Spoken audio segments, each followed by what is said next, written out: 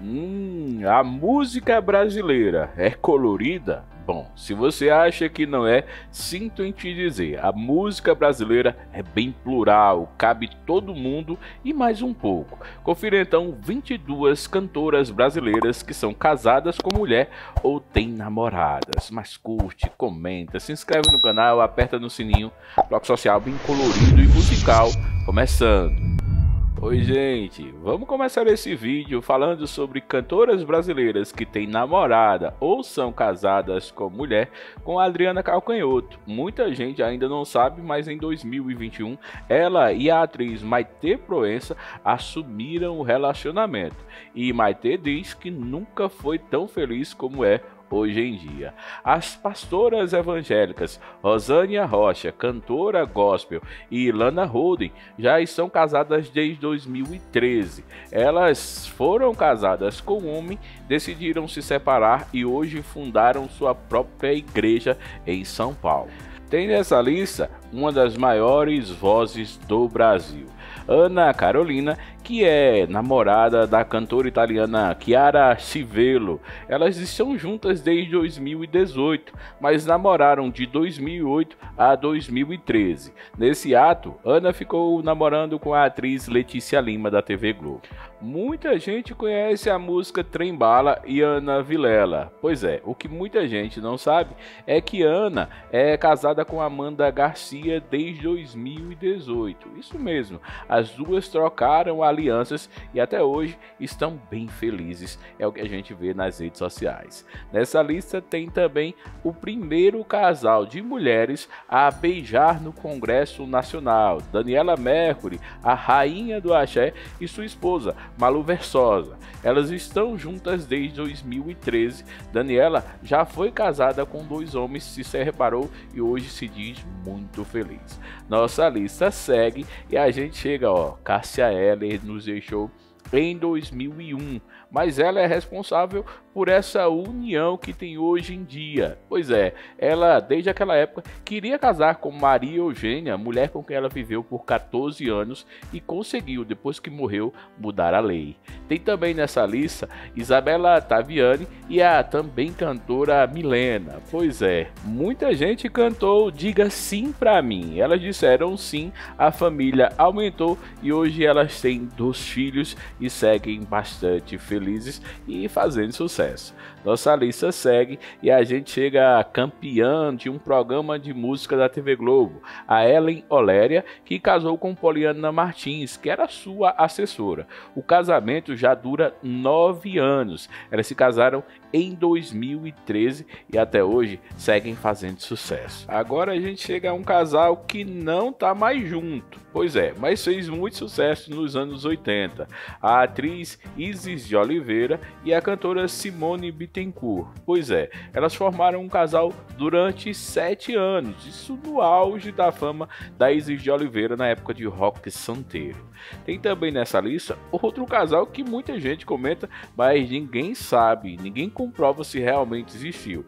A cantora Gal Costa e a atriz global Lúcia Veríssimo. Dizem que existe o encontro, o desencontro das duas já há décadas. Bom, elas nunca falaram sobre o assunto.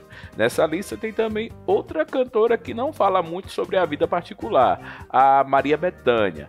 Dizem, segundo Léo Dias, que ela namora com a estilista Gilda Midani. De vez em quando, elas são fotografadas juntas, mas ninguém fala sobre o assunto. Gilda é mãe do global João Vicente de Castro, ator do Porta dos Fundos.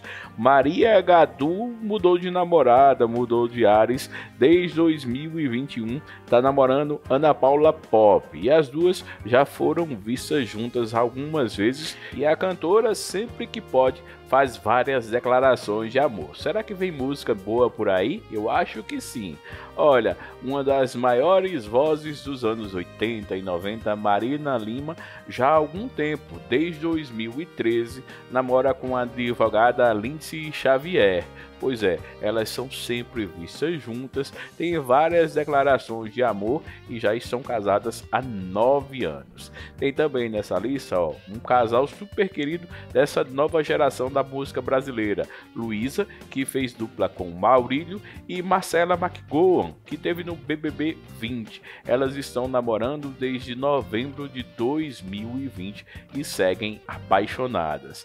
Claro que a gente ia falar sobre um grande nome dos anos 80 e 90 do trem da alegria. Você foi daquela época? Pois é, Patrícia Max já foi casada com um homem, tem filho e tá com Renata Pedreira já faz um bom tempo. Desde 2020, elas abriram a relação para os fãs e para os amigos. Tem também nessa lista a filha do Martinho da Vila, a Martinalha, super querida, que muita gente procurava saber quem é a namorada da Martinalha. Olha aí, é a Naná Lima. Em 2021, na época do confinamento, elas abriram a relação para todo mundo ficar sabendo. Tem também nessa lista a cantora sertaneja Paula Matos, que é casada há quase 10 anos com Camila Bolelli, que é assessora, empresária, amiga, companheira, segundo ela mesma nas redes sociais. Demorou, muita gente cobrou, mas ela resolveu se assumir. Quem não cantou nos anos 80 sucessos de Sandra de Sá?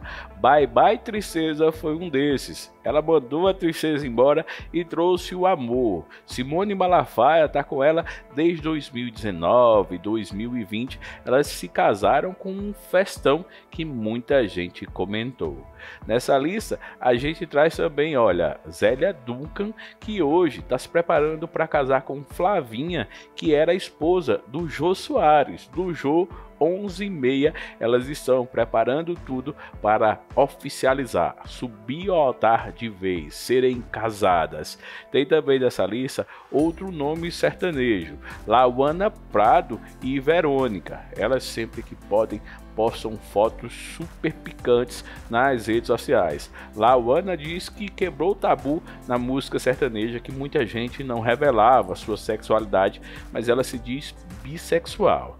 Angela Rorô tá aí porque já teve várias namoradas, entre elas a cantora Zizi Posse, lá na época dos anos 70, nos 80, ela mudou de namorada algumas vezes e a gente acha que ela tá aí super apaixonada, feliz da vida e fazendo muito sucesso.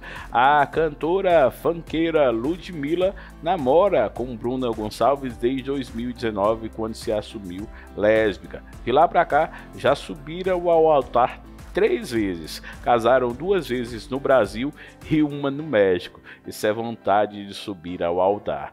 E aí, gostou da nossa lista? Curte, comenta, compartilha, manda seu recado. Ficou faltando quem nessa lista?